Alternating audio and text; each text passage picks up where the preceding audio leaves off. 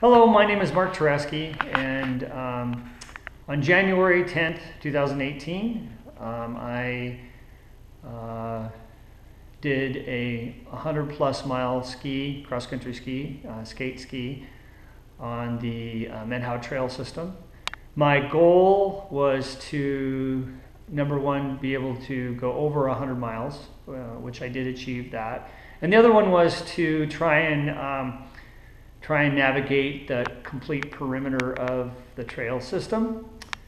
And unfortunately, um, because of time constraints and um, and other things, uh, nutrition, those sorts of things, um, I had to cut it a little bit short. I, it would have it would have come out about 110, maybe 115 miles.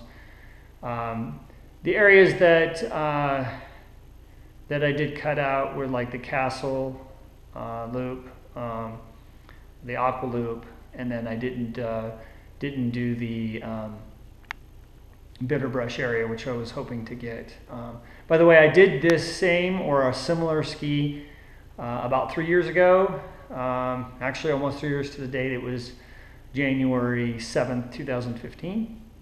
And uh, the first thing I want to do in this video is kind of go over uh, the route that I took uh, and the spots they stopped. Um, a big thanks to um, the Brown, the Brown Farm. They let me um, put some stash some food at their house. Um, actually, it's a it's a warming hut. It's a, a part of part of the trail system, but uh, they it's theirs and they volunteer the uh, space uh, for the trail system, which is wonderful. Um, and also uh, Wolf Ridge, um, I did stop there, um, and that was nice to have a, a warm spot to stop and nourish myself and continue on. Okay, without any further ado, I'll go ahead and uh, go over the, uh, the route that I took.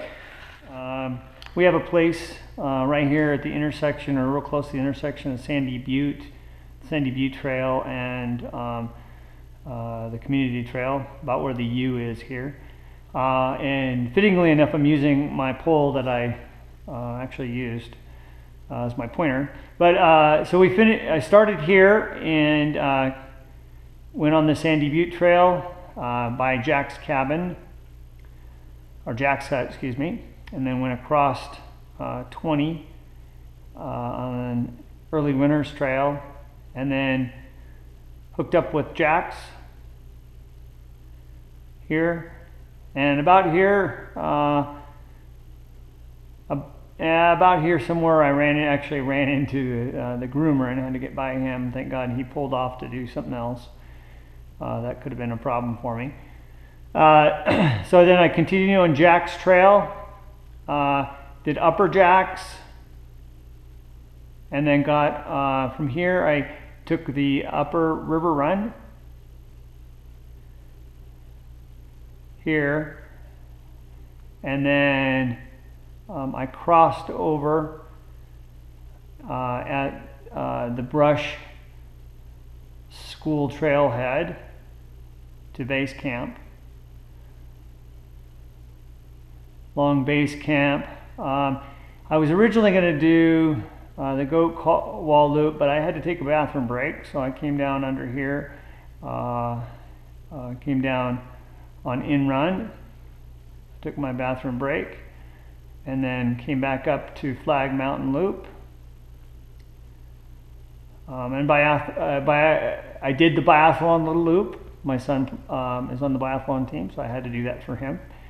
Um, so continued on the Flag Mountain Loop, and then uh, did the Goat Creek, uh, and then uh, all the way to Lower Fawn. Um, this is kind of where it became a little bit uh, challenging uh, because they hadn't groomed and there was about three inches of snow um, from so from here all the way to the other side of Sick Joke Hill um, was not groomed again and that's probably the, one of the hardest areas.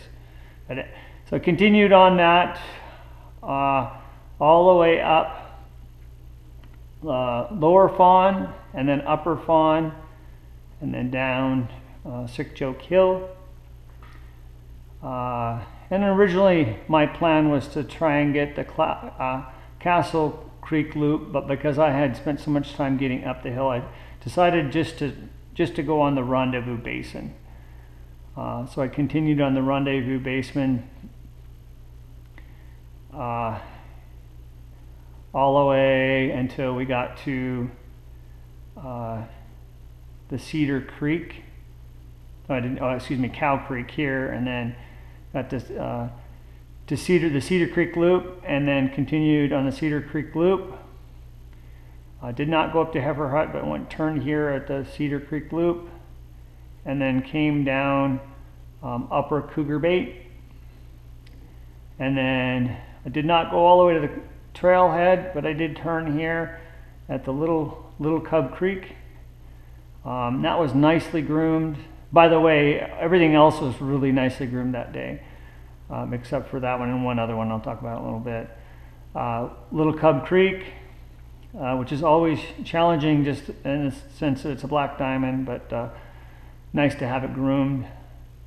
Uh, and then from there, I did um, Cougar Mountain. Uh, went by Gardner Hut, which was really a, a beautiful site, beautiful vista there. Uh, and then got back onto uh, got back onto the rendezvous uh, rendezvous basin. Didn't do the grizzly mountain loop either but uh, continued on, on rendezvous basin lower rendezvous basin and then went up Sick Joke. This is from again this is where it wasn't groomed uh, and that was extremely challenging. Uh, took a lot of effort out of my system, but managed to do that. Uh, it was kind of nice to get the, the downhill again, though, because it wasn't groomed. That was kind of challenging as well. Uh, all the way down uh, to the uh, the cutoff, and then ended up getting on the community trail, Methow Community Trail. Pretty much. Um, all the way through. I did stop at Brown's Farm, uh, and thanks for the wonderful people there, uh, the, the, Browns. They allowed me to stash some food under their sink, uh, which helped me uh, immensely. It was very important that I had the nourishment.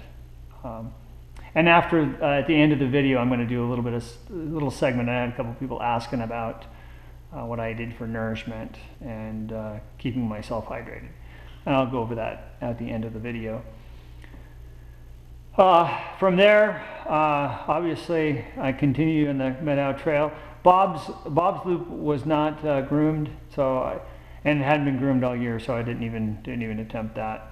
Uh, obviously, did the Methow Community Trail until we get to Power Plunge, Powers Plunge, and that's the other. Well, okay, so go went up Powers Plunge, and it was nicely groomed, um, and this is where the other struggle the upper upper Winthrop Trail was not groomed, um, and again, it had three inches of powder on it, so it was kind of challenging going up, but managed to managed to work through it.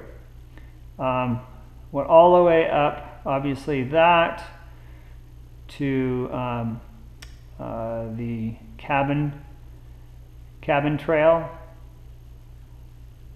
uh, into into the Chickadee area uh, and then went right by the Chickadee Trailhead.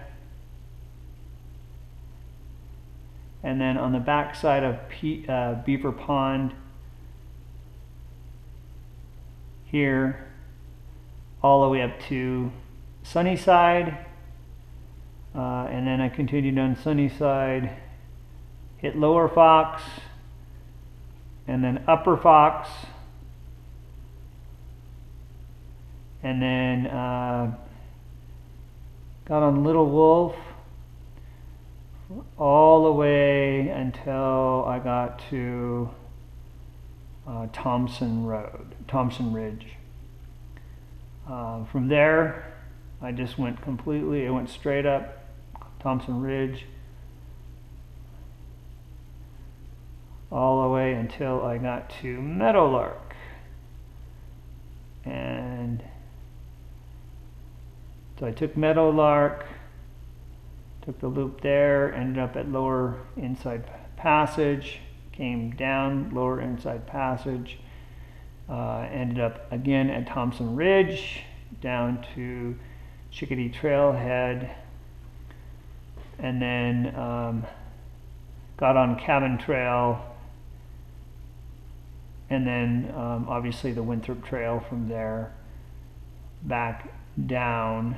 Uh, my original plan was to go out and do Bitterbrush, but I uh, kind of ran out of time. Uh, so instead of continuing on low on the lower Winthrop Trail, I turned there uh, and went down Power Plunge, um, back up the community trail. Um, oh, by the way, I did take a nice break. Um, I take a lunch break at Brown's Farm on the first trip by, and then a nice break at Wolf Ridge both of them were saving graces for me. Um, this one I had almost bonked at on the way back. Um, so to continue um, finishing up on the Methow Trail, I just stayed on the Methow Trail um, past Mazama and then finished up back to our place. Okay, it's 5:03 and we're going to give this a try. Unfortunately, right now it looks like uh, Lower Fawn and Sick Joke has not been groomed, which could be a problem. But uh, given the weather conditions, it looks like today might be the only day I get to do this, so I'm going to attempt it. If it gets too bad, I might have to abort. But I'm going to give it a shot. Okay, here we go. Start in Strava.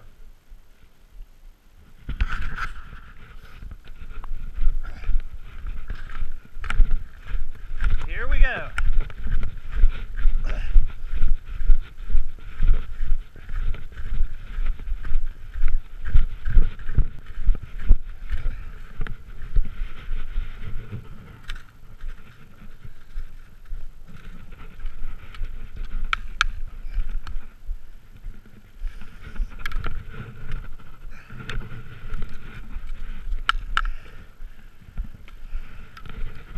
Start up Sandy Butte. Here we go.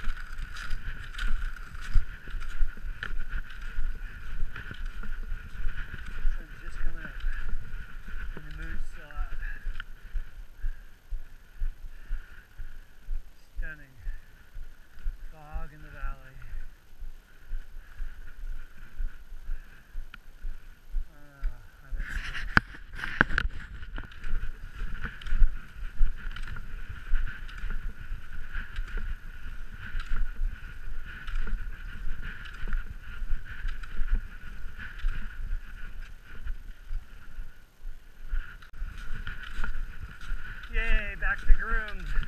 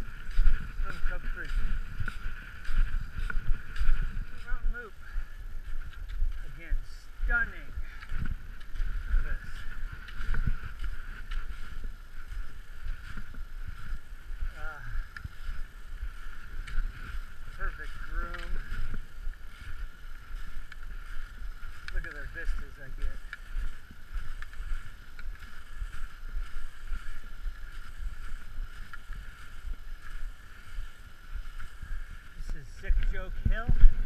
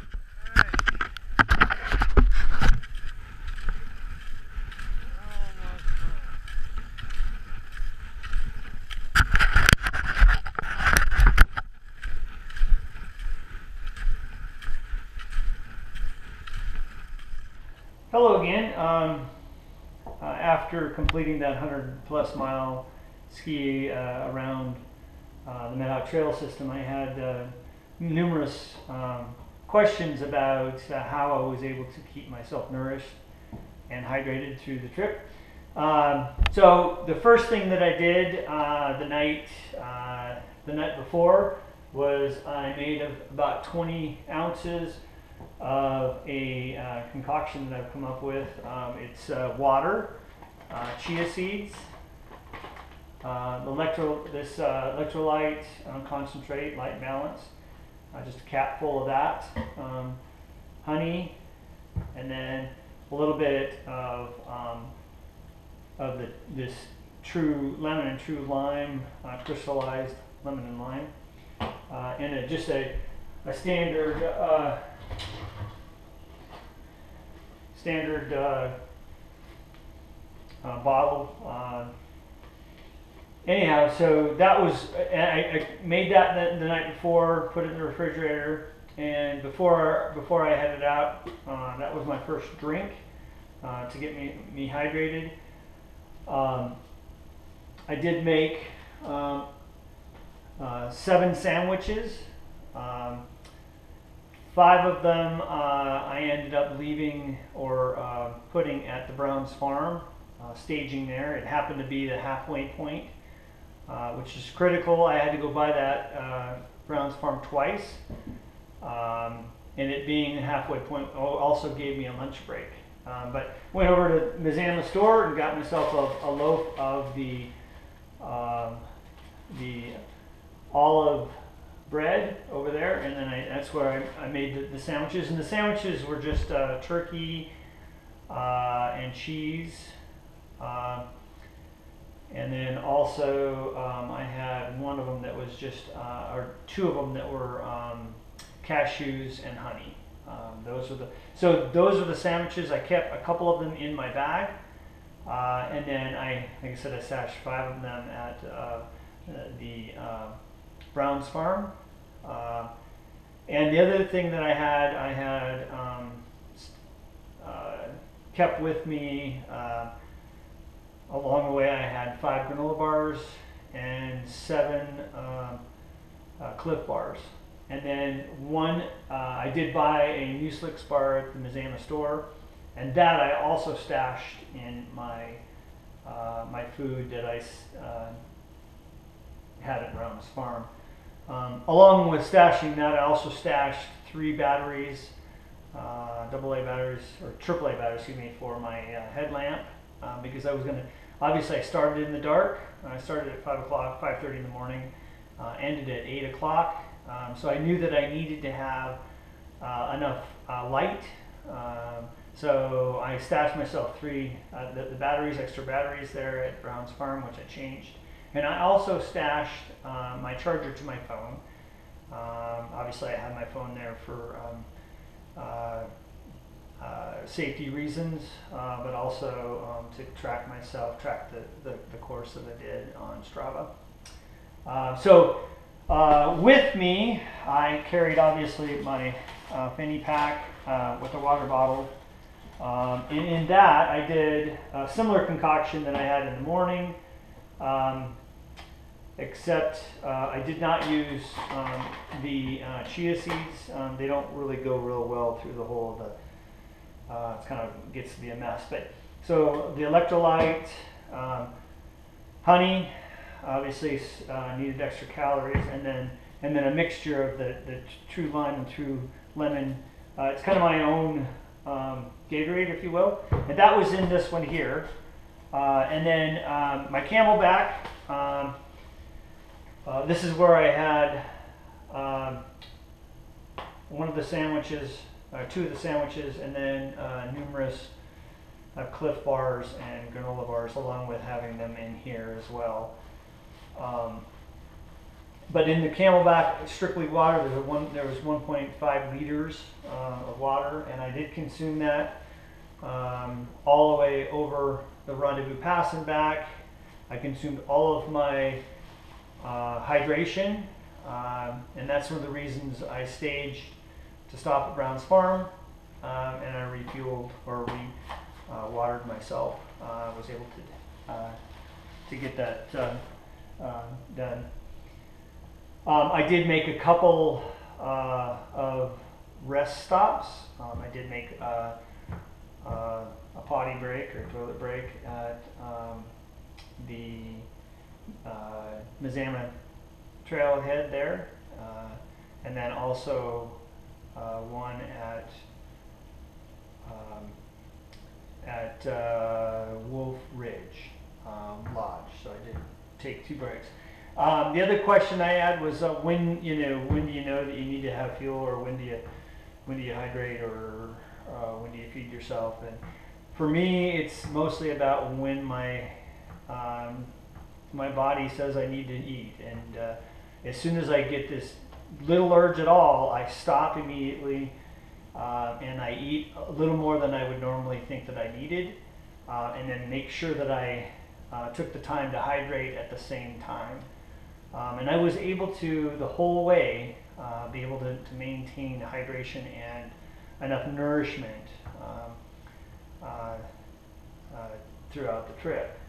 Um, other things that were critical, obviously, is I had enough had enough clothes um, that I, I didn't get too cold or too hot, um, uh, and also um, I did uh, have a little issue coming down uh, the long route uh, from from Chickadee uh, down to uh, Wolf Ridge. Um, I did get chilled, and I did have to stop there at Wolf Ridge. Thank thank God they had the fire going in there. Um, and I, I what I had realized is that I had almost bonked uh, when I got in there. It was a little delirious, so I had to take about 20, 30 minutes in there. Um, I had a, a sandwich, ate a sandwich, the Mucix bar, and um, a Clif bar. Um, gave myself 20 minutes and drank um, as much water as I could get in me. After that, then uh, cruised home. It wasn't the easiest, uh, obviously, route home. Um, uh, the good thing is on the community trail they do have markers along the way, um, and so I could see how, how close I was, um, you know, from uh, from the trail system. So I did forgot to mention what I had um, other than other than my concoction um, for breakfast that morning. Um, I did have uh, a, a good sized bowl of, of oatmeal with uh, with honey. Uh, I had uh, two bananas, uh, uh, two oranges, an apple, uh, and then uh, and then also I had um, some uh, turkey, uh, just sliced turkey and some cheese. Uh, I pretty much tried to eat as much as I, I could before leaving uh, without you know making myself sick. Um, that should be it. Thank you.